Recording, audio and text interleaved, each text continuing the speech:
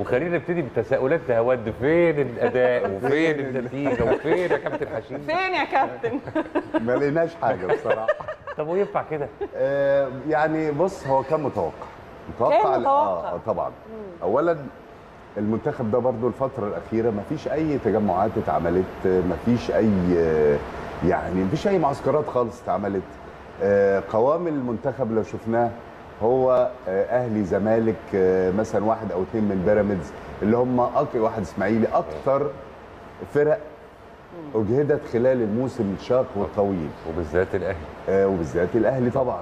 وهو طبعا القوام الأكبر من النادي الأهلي في المنتخب. لعيبة مجهدة جدا طالعة من موسم صعب آه، بطولات متلاحقة. كان بقى ناقص كمان بقى حتة المنتخب كمان بعديها على طول. آه. مفيش فترة. حتى للراحة يعني خلصوا آخر مباراة في الدوري. ضرب ضرب ضرب. ضرب. هل ده بقى اللي خلى إن مفيش وقت. كافي أو فرصة كافية لوجود معسكرات؟ لأن حتى تصريحات كابتن حسام البدري شخصيا بعد انتهاء مباراة أنجولا قال لك إن مفيش تجانس ما بين اللاعبين. آه، هو حتى مش مسألة تجانس المفروض دي لعيبة منتخب ولعبوا مع بعض قبل كده.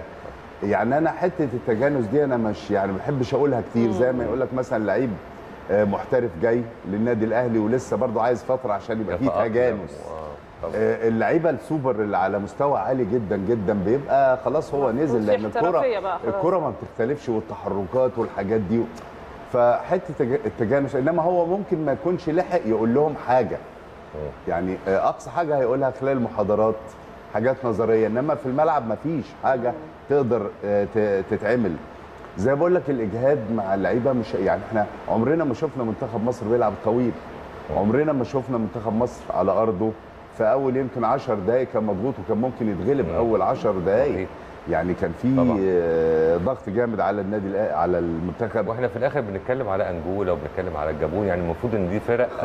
أقل وأضعف من غيرها اللي إحنا كنا بنلعب معاهم بقوة أنت عارف حتى تحس إن يعني أنجولا يعني جاية عارفة إنها بقى بتلعب منتخب مصر وحاجة قوية و- ومنتخب مصنف وطبعا انجولا حاجة يعني التصنيف يعني ما يعني جرأت عليه. طبعا جرأت من البداية وابتدت. تلعب لغاية ومتحررين ومفيش ضغط عليهم وبيلعبوا آه، وكان في عدم توفيق بالنسبة لهم يعني النتيجة ممكن كانت تطلع يعني. آه، طبعا. آه، حاجة طبعا. وكان هيبقى مشكلة لأن دايما البداية بداية المشوار وخصوصا على أرضك بتبقى محتاج الثلاثه بونت وهو أحسن ما حصل في المباراة إن في ثلاثة بونت.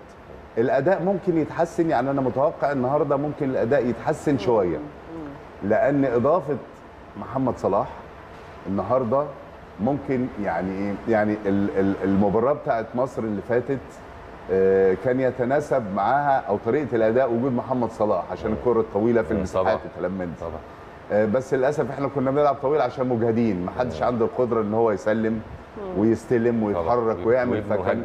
لعيب ما يكون مجهد بي بيلعب كور طويلة وكده. أعتقد إن النهارده إحنا محتاجين دي بقى. محتاجين تقفيل كويس قوي آه، آه، آه، في نص الملعب. يبقى في تقفيل كويس قوي. وعندك سرعات بقى. محتاج أنت سرعات لأن طبعا الجابون بعد النتيجة اللي عملتها مع ليبيا ومفيش ولا نقطة معاها دلوقتي. لازم إنها طبعا تعوض بالظبط تعوض على أرضها لأن آه، النهارده بإذن الله لو اتغلبت آه، ممكن تبقى بعدت عن آه. السباق.